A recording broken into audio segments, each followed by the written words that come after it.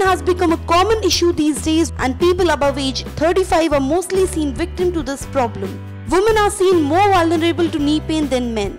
When pain of any kind hits the body, we generally depend on painkillers, but its effect lasts for few hours and then the situation turns the same.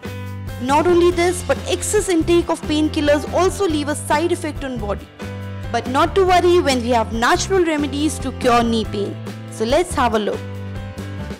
Ginger consists of anti-inflammatory compound known as gingerols. This compound in ginger makes it a wonderful painkiller.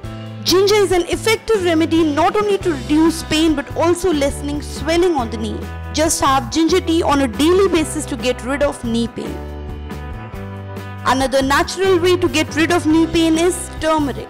It has anti-inflammatory and antioxidant properties due to a chemical named curcumin present in it. Boil 1 tablespoon of turmeric in a glass of milk and drink it on a daily basis.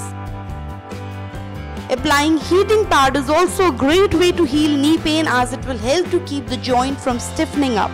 Apart from heating pads, cold compression is also effective on a painful knee.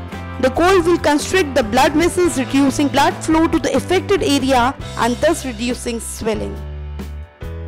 Apple cider vinegar is another way to heal knee pain due to its alkalizing effect. It helps in restoring joint lubricants to help reduce pain and promote mobility. If you are suffering from knee pain, we have three ways of using apple cider vinegar. First, mix 2 tablespoons of apple cider vinegar in a glass of water and sip it throughout the day. Second, you can also add 2 cups of it in bathtub of hot water and soak the affected knee in the water for 30 minutes. Third, also you can mix 1 tablespoon of apple cider vinegar in olive oil and massage the affected knee using it. Another best way to reduce knee pain is regular exercise. Lack of leg movement stiffens the joint resulting in knee pain. The more you exercise and move your knee joint, it will be helpful in reducing pain. So start exercising from today itself to avoid this pain. So these were some perfect home remedies to cure knee pain without developing addiction to painkillers. So do try this when pain hits your knee and for more such health tips do subscribe our channel stay connected.